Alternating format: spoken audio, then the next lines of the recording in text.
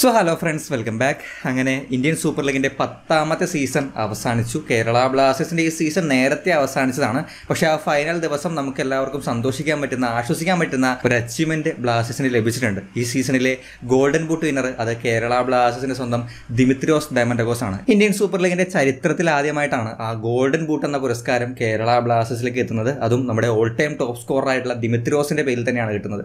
And ഈ സമയം ഏറ്റവും അധികം ചർച്ച ചെയ്യപ്പെട്ടുകൊണ്ടിരിക്കുന്ന ഒരു കാര്യം അടുത്ത സീസണിലും അദ്ദേഹം നമ്മുടെ ടീമിൽ തുടരുമോ എന്നുള്ളതാണ്. ഓൾറെഡി നമ്മുടെ ടീമിൽ നിന്ന് ആ കോൺട്രാക്ട് എക്സ്പയർ ആയിട്ടുള്ള ഒരു പ്ലെയറാണ് ഇപ്പോൾ ഒരു ഫ്രീ ഏജന്റ് ആണ്. സോ നിലവിലത്തെ അവസ്ഥ എന്ന് പറയുന്നത് ബ്ലാസ്റ്റേഴ്സിന്റെ കാര്യം മാത്രം നോക്കിയാൽ പോരാ. ദിമിത്രോസിന്റെ ഡിസിഷനും അദ്ദേഹത്തിന്റെ ഒരു തീരുമാനവും ഈ ഒരു കാര്യത്തിൽ വളരെ ഇമ്പോർട്ടന്റ് ആണ്. അദ്ദേഹം സ്റ്റേ ചെയ്യാൻ ഇഷ്ടപ്പെടുന്നുണ്ടെങ്കിൽ മാത്രമാണ് എത്ര വലിയ ഓഫർ കൊടുത്താലും അദ്ദേഹം ഇവിടെ നിൽക്കുള്ളൂ. ബാക്കി മറ്റു ഓപ്ഷൻസിലേക്കോ അല്ലെങ്കിൽ ഇന്ത്യ വിട്ട് മറ്റൊരു സ്ഥലത്തേക്കോ ആണ് അദ്ദേഹം നോക്കുന്നതെങ്കിൽ ഈ പറഞ്ഞ പോലെ ബ്ലാസ്റ്റേഴ്സിന്റെ കയ്യിലല്ല ഒരു കൺട്രോൾ ഉള്ളത്. ആൻഡ് നമുക്ക് ചെയ്യാൻ പറ്റുന്നതെങ്കിൽ ബ്ലാസ്റ്റേഴ്സിന് ചെയ്യാൻ പറ്റുന്ന കാര്യം അദ്ദേഹത്തെ സന്തോഷിപ്പിക്കാൻ പറ്റുന്ന സാറ്റിസ്ഫൈ ചെയ്യാൻ പറ്റുന്ന ഒരു ഓഫർ നൽകുക ആ ഒരു ഓഫറിൽ അദ്ദേഹത്തെ വീഴ്ത്തുക എന്നുള്ളതാണ്. സോ ശരിക്കും പറയുകയാണെങ്കിൽ ഇവിടെ ആവശ്യം ദിമിത്രോസിന്റെതല്ല കേരള ബ്ലാസ്റ്റേഴ്സിന്റെ തന്നെയാണ്. കാരണം ഒരു proven goal scorer I S എല്ലിൽ കിട്ടുക എന്ന് പറയുന്നത് വളരെ പ്രയാസമുള്ള ഒരു കാര്യമാണ്. നമ്മൾ എത്ര ഈ പറഞ്ഞ പോലെ റെക്കോർഡുള്ള പ്രീവിയസ് കരിയർ റെക്കോർഡുള്ള ഒരു സ്ട്രൈക്കർ കൊണ്ടുവന്നാലും ഇവിടെ അദ്ദേഹം സെറ്റ് ആവുമോ ഇവിടെ അദ്ദേഹം ഗോൾ അടിക്കുമോ ടീമിനെ ഹെൽപ്പ് ചെയ്യുമോ എന്നുള്ളത് ഒരു ഗ്യാരണ്ടിയും പറയാൻ പറ്റാത്ത കാര്യമാണ്. ഇത്ര ബെറ്റർ ആയിട്ടുള്ള ഒരു പ്ലെയർ കൊണ്ടുവന്നാലും ഇന്ത്യൻ സൂപ്പർ ലീഗ് കണ്ടീഷൻസ് ആയിട്ട് പൊരുത്തപ്പെടുക അവിടെ ആ ഒരു ഗോൾ അടിച്ച് തുടങ്ങുക ഗോൾ അടിച്ച് തുടങ്ങിയാൽ തന്നെ അത് കൺസിസ്റ്റന്റ് ആയിട്ട് മെയിന്റെയിൻ ചെയ്യുക എന്ന് പറയുന്നത്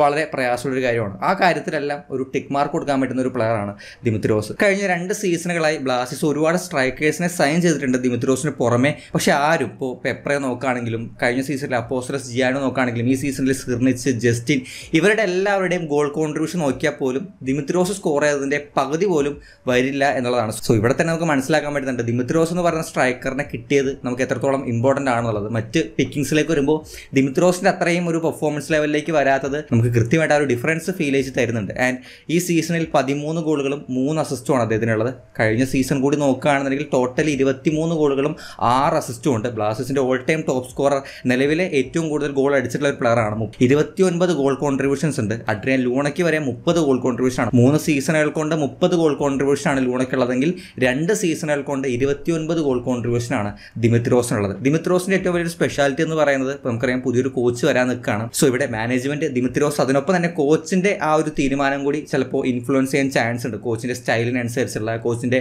ആ ഒരു സിസ്റ്റത്തിനനുസരിച്ചുള്ള ഒരു സ്ട്രൈക്കർ ആണോ എന്നുള്ളത്. പക്ഷേ അതിന്റെ ഒരു സ്പെഷ്യാലിറ്റി എന്ന് പറയുന്നത് നമ്മൾ ഫസ്റ്റ് സീസണിലേക്കൊക്കെ ആണെങ്കിൽ ഒരു ടാർഗറ്റ് മാൻ എന്ന രീതിയിൽ ബോക്സിനകത്ത് നിന്ന് ഫിനിഷ് ചെയ്യുന്ന ഒരു പ്ലെയറിനെ പോലെ ഫീൽ ചെയ്യിച്ചെങ്കിലും ആ സീസണിലെ മെജോറിറ്റി ഗോൾ അദ്ദേഹം അടിച്ച എല്ലാ ഗോളും ആ ബോക്സിനകത്ത് നിന്നിട്ടുള്ള ഗോളുകളാണ് നല്ല പാസുകൾ ഒരു പ്ലേ മേക്കറിനെ ഡിപ്പെൻഡ് ചെയ്തിരുന്ന ഒരു രീതിയിലാണ് മെജോറിറ്റി ഗോളുകളും നമ്മൾ അദ്ദേഹത്തിന്റെ കണ്ടിട്ടുള്ളത്. ലൂൺ എന്ന് പറയുന്ന പ്ലെയറിൽ നിന്നും ഒരുപാട് പാസുകൾ സ്വീകരിച്ച് അദ്ദേഹം ഗോൾ സ്കോർ ചെയ്തിട്ടുണ്ട്. പക്ഷേ രണ്ടാമത്തെ സീസണിലേക്ക് വരുമ്പോൾ ലൂണ പോലൊരു മെയിൻ പ്ലേ മേക്കർ ഇല്ലാതെയാണ് പകുതിയിലധികം മാച്ചുകളും അദ്ദേഹം കളിച്ചത്. എന്നിട്ട് പോലും പതിമൂന്ന് ഗോൾ അടിക്കാനും ഈ ഗോൾഡൻ ബൂട്ട് വിൻ ചെയ്യാനും അതിന് സാധിച്ചു എന്ന് പറയുന്നതാണ് അതിന്റെ ഒരു സ്പെഷ്യാലിറ്റി എന്ന് പറയുന്നത്. നേരത്തെ പറഞ്ഞ പോലെ നല്ല പാസുകൾ ബോക്സിനകത്ത് കിട്ടിയിട്ടുള്ള നല്ല പാസുകൾ കൊണ്ട് സ്കോർ ചെയ്യാനുള്ള ഗോളുകൾ ഉണ്ടെങ്കിലും ആ ഒരു പ്ലേയിങ് സ്റ്റൈൽ മാത്രം ഒതുങ്ങി നിൽക്കാതെ ഒരു ടാർഗറ്റ് മാൻ എന്ന രീതിയിൽ ബോക്സിനകത്ത് നിന്ന് പാസുകളെ മാത്രം ആശ്രയിച്ച് കളിക്കുന്ന ഒരു രീതിയിൽ നിന്നുള്ള ഒരു ചേഞ്ച് നമുക്ക് ഈ സീസണിൽ കാണാൻ സാധിക്കുന്നുണ്ട്. ലൂണയ്ക്ക് ശേഷം ഇരുപത്തിനാല് ചാൻസസ് ക്രിയേഷനായിട്ട് രണ്ടാം സ്ഥാനമാണ് ചാൻസുകൾ ക്രിയേറ്റ് ചെയ്ത കാര്യത്തിൽ ദിമിത്രോസിനുള്ളത്. അതുപോലെ തന്നെ ഇരുപത്തിയഞ്ച് കീ പാസുകളുണ്ട് ആൻഡ് കഴിഞ്ഞ സീസണിലെയും ഈ സീസണിലെയും അതിന്റെ ഹീറ്റ് മാപ്പ് എടുത്ത് കമ്പയർ ചെയ്ത് നോക്കുകയാണെങ്കിൽ ഏതാണ്ട് സിമിലർ ആണ്. എന്നാലും ബോക്സിനകത്തുള്ള അതിന്റെ പ്രസൻസ് നോക്കുകയാണെങ്കിൽ കഴിഞ്ഞ സീസണിലാണ് അത് കൂടുതൽ ആ ഡി ബോക്സിന്റെ അകത്ത് പ്രസൻസ് വരുന്നത്. പക്ഷേ ഈ സീസണിൽ അത്രയും ഒരു കട്ടിക്ക് പ്രസൻസ് ബോക്സിനകത്തില്ല അതിനേക്കാൾ കൂടുതൽ പുറത്തും ആ ഒരു സൈഡിലും വിങ്ങിലൊക്കെ ആയിട്ട് കൂടുതൽ പ്രസൻസ് കാണുന്നുണ്ട്. സോ ആ ഒരു ഗെയിം സ്റ്റൈൽ ഫസ്റ്റ് സീസണിൽ ഒരു ടാർഗറ്റ് മാൻ എന്ന രീതിയിൽ കണ്ടുവെങ്കിലും അതിൽ നിന്ന് ഡിഫറന്റ് ആയിട്ട് അല്ലെങ്കിൽ കുറച്ചുകൂടി ഒരു മറ്റൊരു റോളിലേക്ക് മാറാനും ആ റോളിൽ നിന്നുകൊണ്ട് തന്നെ ഗോളുകൾ അടിക്കാനും ഈ പറഞ്ഞ പോലെ ഇമ്പാക്റ്റ് ഉണ്ടാക്കാനും ദിമിത്രോസിന് സാധിച്ചിട്ടുണ്ട്. സോ ഇനി ഏത് കോച്ച് വന്നാലും അല്ലെങ്കിൽ എത്തരത്തിൽ കളിക്കുന്ന ഒരു കോച്ച് വന്നാലും ഒരു തൊണ്ണൂറ് ശതമാനവും ആ കോച്ചിന്റെ സിസ്റ്റത്തിൽ സൂട്ടബിൾ ആവുന്ന രീതിയിൽ നമുക്ക് ദിമിത്രോസിനെ മാറ്റിയെടുക്കാൻ സാധിക്കുമെന്നുള്ളതാണ് അതിന്റെ ഏറ്റവും വലിയൊരു സ്പെഷ്യാലിറ്റി ആൻഡ് ഏതൊരു ടീമും ആഗ്രഹിക്കുന്നത് പോലെ ഒരു ക്ലിനിക്കൽ ഫിനിഷർ എന്ന് പറയാൻ പറ്റുന്ന അല്ലെങ്കിൽ നല്ലൊരു ഡെഡ്ലി സ്ട്രൈക്കർ എന്ന് പറയാൻ പറ്റുന്ന കാറ്റഗറിയിൽ പെടുത്താൻ പറ്റുന്ന ഒരു പ്ലെയറാണ് ദിമിത്രോസ്. ഈ പതിമൂന്ന് ഗോൾ അദ്ദേഹം സ്കോർ ചെയ്തെന്ന് പറയുമ്പോൾ ഈ പതിമൂന്ന് ഗോളുകൾ വന്നിട്ടുള്ളത് മുപ്പത്തിരണ്ട് ഷോട്ടുകളിൽ നിന്നാണ്. ഈ മുപ്പത്തിരണ്ട് ഷോട്ടുകളിൽ ഇരുപത്തിമൂന്നെണ്ണം ഓൺ ടാർഗറ്റ് ഷോട്ടുകളാണ് ഇരുപത്തിമൂന്നിൽ പതിമൂന്നെണ്ണമാണ് കൺവേർട്ടായി ഗോളായി മാറിയിട്ടുള്ളത്.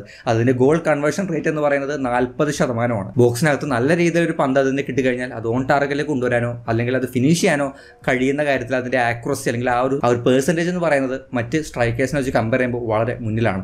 മറ്റ് കേരള ബ്ലാസ്റ്റ് സ്ട്രൈക്കേഴ്സിനെ വെച്ച് കമ്പയർ ചെയ്യുമ്പോൾ അത് വളരെ വളരെ മുന്നിലാണ്. സോ അത്തരത്തിലൊരു സ്ട്രൈക്കർ ഒരു ഫ്രണ്ടിൽ നമുക്ക് നല്ല പാസുകൾ എത്തിച്ചു കഴിഞ്ഞാൽ അതും ലൂണ പോലെ ഒരു പ്ലേ മേക്കർ ഇല്ലാഞ്ഞിട്ട് കൂടി ഒരു എക്സ്ട്രാ ഓർഡിനറി പാസ് ഒന്നും വേണ്ട. അതിലേക്ക് എങ്ങനെയെങ്കിലും ആ ഒരു പന്ത് എത്തിയാൽ മാത്രം മതി. അങ്ങനെ ബോക്സിനകത്ത് കിട്ടുന്ന പാസുകൾ അത് കൃത്യമായിട്ട് കൺവേർട്ട് ചെയ്യാൻ കാപ്പബിലിറ്റി ഉള്ള ഒരു പ്ലെയറാണ് ദിമിത്രോസ്. സോ അത്തരത്തിലൊരു ഡെഡ്ലി സ്ട്രൈക്കറിനെ കിട്ടുക എന്ന് പറയുന്നത് എല്ലാ ടീമും അന്വേഷിച്ച് നടക്കുന്ന ഒരു കാര്യമാണ്. അങ്ങനെ കിട്ടിക്കഴിഞ്ഞാൽ പരമാവധി ഏറ്റവും മാക്സിമം അദ്ദേഹത്തെ കീപ്പ് ചെയ്യാൻ ശ്രമിക്കുകയാണ് എല്ലാ ടീമുകളും ചെയ്യാറുള്ളത്. അതുപോലെ തന്നെ കോമ്പിനേഷൻസ് കളിക്കുന്ന കാര്യമാണെങ്കിലും കൂടെ കളിക്കുന്ന ആ ഒരു സ്ട്രൈക്കറായിട്ട് കൃത്യമായിട്ട് ഒരു കെമിസ്ട്രി വർക്കൗട്ട് ചെയ്തെടുക്കാൻ ദിമിത്രോസിന് സാധിക്കാറുണ്ട്. ഇപ്പോൾ ഫസ്റ്റ് സീസണിൽ അപ്പോസ്റ്ററസ് ജിയാനു ആണെങ്കിലും രണ്ടാമത്തെ സീസണിൽ പെപ്ര ആണെങ്കിലും അതിനുശേഷം സിർണിച്ച് ആണെങ്കിലും ഇവരൊക്കെയായിട്ട് വളരെ കുറച്ച് മാച്ചസ് മാത്രമാണ് ദിമിത്രോസ് ഒരുമിച്ച് കളിച്ചിട്ടുള്ളത്. പക്ഷേ കുറഞ്ഞ സമയം കൊണ്ട് തന്നെ ഇവർ തമ്മിലുള്ള പാസ് എക്സ്ചേഞ്ചസും ഗോളുകളും അസിസ്റ്റുകളും നമ്മൾ കണ്ടിട്ടുണ്ട്. കഴിഞ്ഞ സീസണിൽ പെപ്പറയ്ക്ക് ഇഞ്ചുറി പറ്റിയില്ലായിരുന്നെങ്കിൽ നല്ലൊരു കോമ്പിനേഷനായിട്ട് നമ്മുടെ ദിമിത്രോസ് പെപ്പർ ആ ഒരു കോമ്പ് മാറിയാണ് അതിനുശേഷം സിർണിച്ച് വരുമ്പോഴും അവർ തമ്മിലുള്ള ഒരു കണക്ഷനും അവർ തമ്മിലുള്ള ആ ഒരു കോമ്പിനേഷൻസിൽ വന്നിട്ടുള്ള ഗോളുകൾ നമ്മൾ കണ്ടിട്ടുണ്ട്.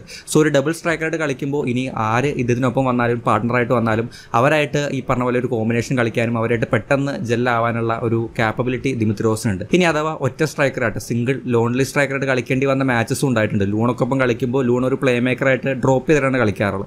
അങ്ങനെ വരുന്ന സിറ്റുവേഷനിൽ ഒരു ലോൺലി സ്ട്രൈക്കറായിട്ട് സിംഗിൾ സ്ട്രൈക്കറായിട്ട് ദിമിത്രോസ് മാറാറുണ്ട്. അവിടെയും ഈ പറഞ്ഞ പോലെ അങ്ങനെ കളിക്കുമ്പോഴും ഇമ്പാക്റ്റ് ഉണ്ടാക്കാൻ ദിമിത്രോസിന് സാധിക്കാറുണ്ട്. സോ ഈ രണ്ട് റോളുകൾ കൊടുത്താലും ഡബിൾ സ്ട്രൈക്കറായിട്ടാണെങ്കിലും ലോൺലി സ്ട്രൈക്കറായിട്ടാണെങ്കിലും അവിടെ കളിക്കാൻ സാധിക്കുന്നു എന്നുള്ളതും ആ പ്ലേയിങ് സ്റ്റൈലിൽ നിന്നുകൊണ്ട് ഇമ്പാക്റ്റ് ഉണ്ടാക്കാൻ സാധിക്കുന്നു എന്നുള്ളതും ഡിമിത്രോസിന്റെ മറ്റൊരു സ്പെഷ്യാലിറ്റിയാണ് അതുപോലെ തന്നെ ഫിസിക്കലി നല്ല സ്ട്രോങ് ആയിട്ടുള്ള ഒരു സ്ട്രൈക്കറാണ് ഒരു സ്ട്രൈക്കറെ സംബന്ധിച്ച് ഫിസിക്ക് പല രീതിയിൽ ആ ഒരു പ്ലെയറിനെ ഹെൽപ്പ് ചെയ്യാറുണ്ട്. അപ്പോൾ അതിന്റെ ഭാഗമായിട്ട് വന്നിട്ടുള്ള ഗോളുകൾ കൂടി നമ്മൾ ഈ സീസണിൽ കണ്ടിട്ടുമുണ്ട് വളരെ സ്ട്രോങ് ആയിട്ട് ഫിസിക്കലി കളിക്കുന്ന ഒരുപാട് സെന്റർ ബാക്സിനെ ഇറക്കുമതി ചെയ്യുന്ന ഒരു ലീഗാണ് ഇപ്പോൾ ഐ എസ് എൽ അത്തരം ഒരു ലീഗിൽ ഫിസിക്കലി ആ ഒരു പ്ലേയേഴ്സിന് ഇടിച്ചു നിൽക്കാൻ പറ്റുന്ന രീതിയിൽ ഒരു സ്ട്രൈക്കർ ഉള്ളതും ഈ പറഞ്ഞ പോലെ ആ ഒരു ഫ്രണ്ട് ലൈൻ ആ ഒരു അറ്റാക്കിംഗ് സൈഡിൽ ഒരു ഇമ്പാക്റ്റ് കിട്ടുന്ന ഒരു കാര്യമായിട്ട് കൂടി തോന്നാറുണ്ട്. വളരെ അണ്ടർ റേറ്റഡ് ആയിട്ടുള്ള ഒരു ക്വാളിറ്റിയാണ് ദിമിത്രോസിന്റെ ഫിസിക് എന്ന് പറയുന്നത്. ആ ഒരു സംഭവം കൊണ്ട് ഈ പറഞ്ഞ പോലെ ഒരുപാട് സിറ്റുവേഷൻസിൽ പെനാൽറ്റി ബോക്സിനകത്ത് നിന്നിട്ട് അദ്ദേഹം കൺവേർട്ട് ചെയ്യുന്നതോ അല്ലെങ്കിൽ ഈ പറഞ്ഞ പോലെ ഫിസിക്കൽ ബാറ്റിൽസിൽ വിൻ ചെയ്ത് പന്ത് കീപ്പ് ചെയ്യുന്നതോ നമ്മൾ ഒരുപാട് കാണാറുണ്ട്. സോ ഫിസിക്കലി സ്ട്രോങ് ആയുള്ള ഒരു സ്ട്രൈക്കർ അത് തീർച്ചയായിട്ടും എടുത്തു പറയേണ്ട ഒരു പോയിന്റാണ് ദിമിത്രോസിന്റെ കാര്യത്തിൽ. സോ നേരത്തെ പറഞ്ഞതുപോലെ അൽവാരോ വാസ്കസിനും പെരേര ഡയസിനും ശേഷം ബ്ലാസ്റ്റസിന് കിട്ടിയ ഒരു ഡെഡ്ലി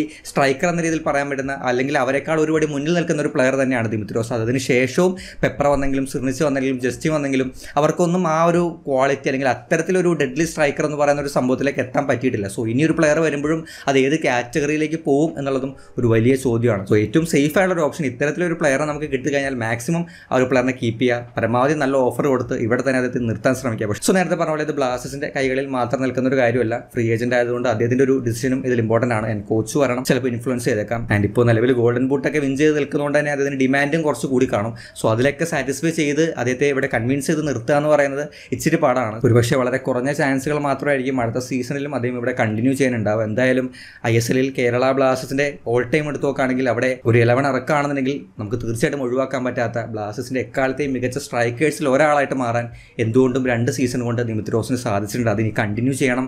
ഇനിയും വരുന്ന സീസണിലും ഇതേപോലെ ഈ റെക്കോർഡ് കാത്തു സൂക്ഷിക്കുന്ന രീതിയിൽ മുന്നോട്ട് പോകാൻ ദിമിത് റോസിന് കേരള ബ്ലാസ്റ്റേഴ്സ് ജേഴ്സിയിൽ നമുക്ക് കാണാൻ സാധിക്കുമെന്ന് പ്രതീക്ഷിക്കാം. പക്ഷെ എന്തായാലും ഈ ഒരു പ്ലെയറിന്റെ കാര്യത്തിൽ നിങ്ങളുടെ അഭിപ്രായങ്ങൾ തീർച്ചയായിട്ടും കമന്റ് ബോക്സിൽ ഷെയർ ശ്രമിക്കാം. നമുക്ക് എന്തായാലും മറ്റൊരു കാണാം. ബൈ